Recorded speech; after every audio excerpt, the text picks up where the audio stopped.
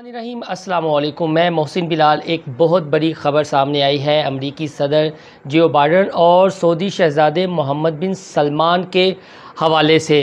आपको याद होगा, पिछली वीडियो में हमने डिस्कस किया था कि अमरीकी सदर का वस्ती एशिया का इंतहाई अहम दौरा है। इसराइल पहले वो गए और उनके साथ कुछ स्ट्रेटिक दिफाई माहदे किए और उसके बाद जो आखिरी उनका प्राव था इस दौरे का वस्ती एशिया के, वो सऊदी अरब में था और उनकी इंतहाई अहम मुलाकात हुई सऊदी शहजादे के साथ। कुछ इंसानी हकूक़ के बताया जाता है, इस मुलाकात में इशू सामने आए और जो बाइडन, जो अमरीकी सदर उन्होंने सऊदी शहजादे को आईना दिखाने की कोशिश की। जो ह्यूमन राइट्स हैं जो इंसानी हकूक़ हैं जो इंसानी हकूक़ सऊदी अरब में पैमाल हो रहे हैं उस हवाले से। और जियो बाइडन ने ख़ास तौर पर सऊदी जो अखबार नवीस थे जो तुर्की में सऊदी सफारत खाने में जिनका मर्डर कर दिया गया था कशोगी उस हवाले से इंसानी हकूक़ का इशू उठाया।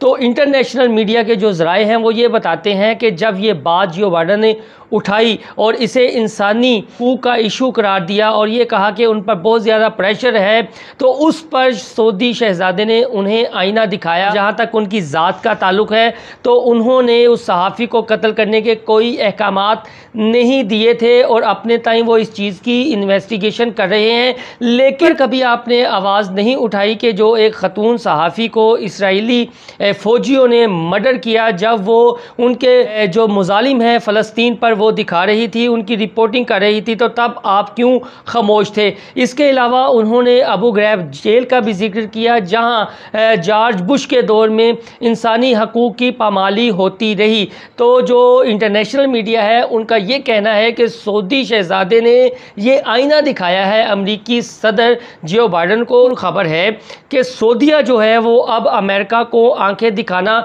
शुरू हो गया है। और जो ज़राए इस मीटिंग में थे, जो इंटरनेशनल मीडिया ने कोट किया है उनके वर्ड्स हैं कि जी। शहजादे ने जो बाइडन की आँखों में आँखें डालकर उनको आईना दिखाया कि जो अमेरिका इंसानी हकूक़ की पायमाली करता है जो अमेरिका में सहाफ़ी कत्ल होते हैं आज तक इस हवाले से कितनी आपने आवाज़ उठाई है जो आप हमको बातें कर रहे हैं। आ, पहले अपना चेहरा तो इस आईने में देख लें कि कितना दागदार है इंसानी हकूक़ के हवाले से। सऊदी शहजादे ने बताया जाता है कि उन्हें यह ज़रूर कहा कि सिर्फ़ एक मुल्क को तनकीद का निशाना बनाना और अपने मुल्क में जो ह्यूमन राइट्स की वायलेशन हो रही है जो अमेरिका दीगर ममालिक में जाकर बम्बारी करते हैं वायलेशन करते हैं जो इसराइल फ़लस्तीन पर मुजालिम डाल रहा है उस जानब किसी की तवज्जो नहीं है।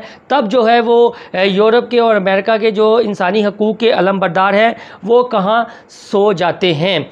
तो ये एक खुशाइन बात है सऊदी शहज़ादे के हवाले से और हम ये कहेंगे कि उन्होंने कमाल कर दिया कि अमरीकी सदर को जो आईना दिखाया है। अब इस हवाले से जो इंटरनेशनल मीडिया रिपोर्ट करेगा, हम अपनी यूट्यूब चैनल इन साइड स्टोरी से आपको बाखबर रखेंगे। आपसे वही दरख्वास्त है कि हमारा चैनल इन साइड स्टोरी सब्सक्राइब करना ना भूलिएगा। अल्लाह हाफ़